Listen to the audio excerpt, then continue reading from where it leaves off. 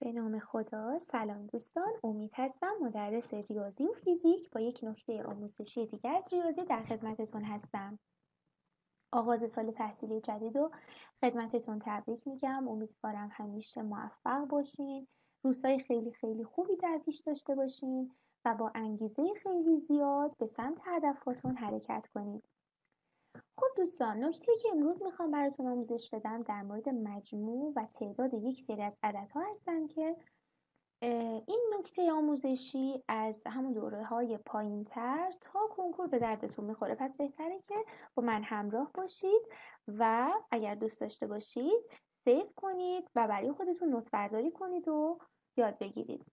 خب دوستان یک سری از عددها رو به ما میدن. مثلا از یک شروع میشه تا صد. خب؟ مثلا میگن مجموع این عددها رو پیدا کنید برای پیدا کردن مجموع این عددها لزومی نداره که ما بشینیم دونه دونه این عددها رو با هم دیگه جمع کنیم. مسلما هم وقت گیره هم سخته و هم ممکنه که اشتباه کنیم. وسط را ممکنه یکی از عددها رو اشتباه حساب کنیم یا اصلا حسابشون نکنیم. به همین دلیل میایم از یک رابطه ریاضی کمک می‌گیریم. چیکار کنیم؟ مجموع عددها رو به این ترتیب به دست میاریم. مجموع این سری از عددها برابر میشن با عدد اول تو اینجا یک. به اضافه عدد آخر صد. ضرب در تعداد این عددها. خب تعداد این عددها رو از کجا به دست بیارم؟ ممکنه بعضی از سری هایی که به ما میدن فاصلهشون یکی یکی پیش نرفته باشه. یعنی من میشمارم مثلا از یک تا پنج یک دو سه چهار پنج. پنج تا عدد دارم. درسته؟ ولی من یک سری عدد می نویسم مثلا سه شیش نه تا مثلا سیصد. خب؟ من توی این سری از عددها چند تا عدد دارم؟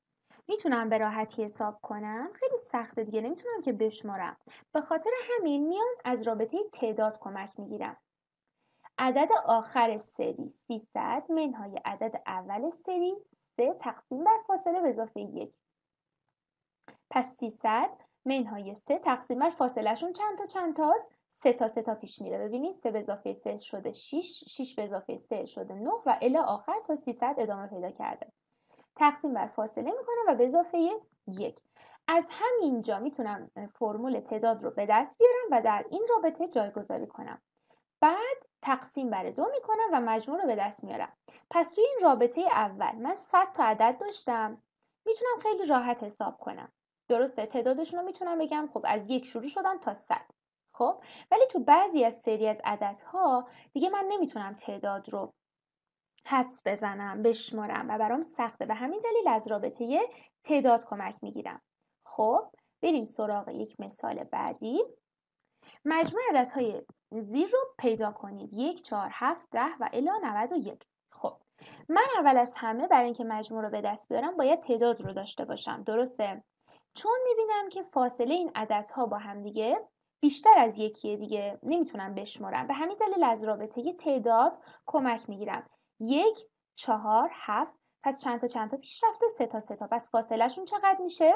فاصلهشون میشه سه تا. عدد آخر چنده؟ 91 عدد اول؟ یک. 91 منهای یک تقسیم بر سه که فاصلهشون هست به اضافه یک. میشه تعداد عددهای من. 31 تا عدد دارم توی این سری از عددها. مجموعش رو چجوری به دست بیارم؟ عدد آخر 91 عدد اول یک ضرب داره تعداد